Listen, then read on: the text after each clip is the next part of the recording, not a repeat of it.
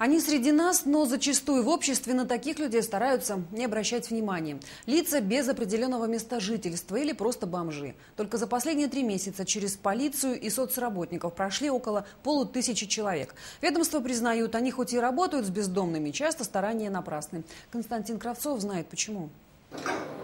Ну а что, банька нормальная, душ, все. Горячая вода, станки, все, мыло. Бомж Владимир как новый рубль, буквально светится чистотой. В санпропускнике он частый гость. Здесь приводят в порядок тех, кому помыться и постирать больше негде. Владимира впервые привели сюда сотрудники полиции еще летом. Тогда же в Абакане появилась спецгруппа по работе с бомжами.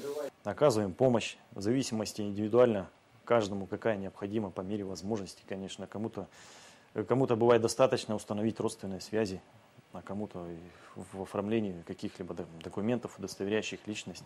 За два с половиной месяца через этот отдел прошли более 300 человек. Геннадий, один из них, имел статус бомжа последние семь лет. Сейчас есть крыша над головой, работа, которую тоже помогли найти стражи порядка. Мужчина не пьет и даже носит галстук. Но таких хэппи-эндов единицы. Город в социальном плане он не запущен, но он довольно-таки такой, знаешь, не совсем ухоженный. Поэтому для бомжей есть, как говорится, есть какие-то меры где-то поживиться. Но это тоже не решение вопроса. Согласны с мнением Геннадия Надо и социальные этому, работники, да. но признают, программа помощи бездомным хоть и есть, пока обречена на провал. Ведь в республике всего одна социальная гостиница на 50 человек, но живут в ней семьи с детьми. Нужно открыть еще как минимум одно заведение. Это может быть отделение ночного пребывания, где граждане могут переночевать э, в этом социальном центре. Это, естественно, будет э, социальное реабилитационное отделение, где с этими гражданами будут работать уже психологи, для того, чтобы их направить в центр занятости. Разговоры о том, что социальный центр нужен, идут уже минимум лет пять, но главная проблема – финансирования.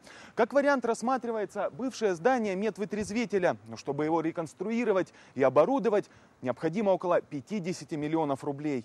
Рассматриваются и другие варианты. Определиться с выбором чиновники обещают уже в 2012-м. Другое дело, согласятся ли сами бомжи там жить, ведь большинство бездомных ценят свободу больше, чем работу и жизнь по расписанию. Константин Кравцов, Дмитрий Корнилов. Новости. Седьмой телеканал.